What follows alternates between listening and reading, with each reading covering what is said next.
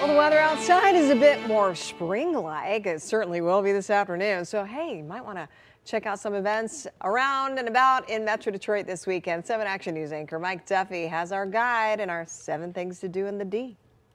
It might not be as balmy as it is down in New Orleans, but you can get a taste of the Big Easy and Caribbean Carnival at Mardi Gras at Valade. It's just one of your many options this weekend as we count down your seven things to do in the D. It all kicks off Friday with some karaoke and Mardi Gras mask making, but things really get going Saturday. If you're looking to plan something with love at the center, the Valentine's Soul Jam is happening this weekend at the Fox Theater. You'll hear music from Heatwave, Enchantment, and more. It's all going down Saturday at 7 p.m. It's Black History Month, and the Henry Ford Museum of Innovation is celebrating all month long by reflecting on the past, celebrating the present, and committing to creating a just future.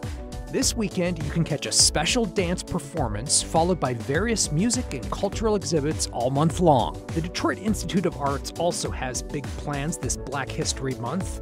The Regeneration Black Cinema exhibit is honoring the works of African American filmmakers and actors from the beginning of cinema through the civil rights movement. Films will also be shown on weekends all month long at the Detroit Film Theater inside the DIA. You can celebrate both love and black history during Winter Love Fest at Palmer Park.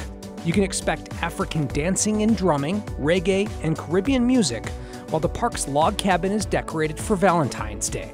There will also be winter activities, free treats, crafts, and more. The Earth doesn't revolve around you. Actually, it revolves around the sun and we have Polish hero Nicholas Copernicus to thank for that discovery.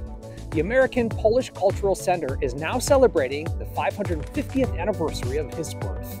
Anyone with Polish roots or those just interested in Polish culture can swing by the center in Troy. It's open daily for the exhibition from 12 to 6 until the 17th. College hockey returns to Little Caesars Arena this weekend for Duel in the D. Hockeytown fans can catch Michigan and Michigan State when the teams hit the ice during their annual rivalry game, competing for the Iron D Trophy. The game is Saturday at 8:30 p.m. You can find information to all these events and more at wxyz.com. I'm Mike Duffy, and that's your seven things to do in the D.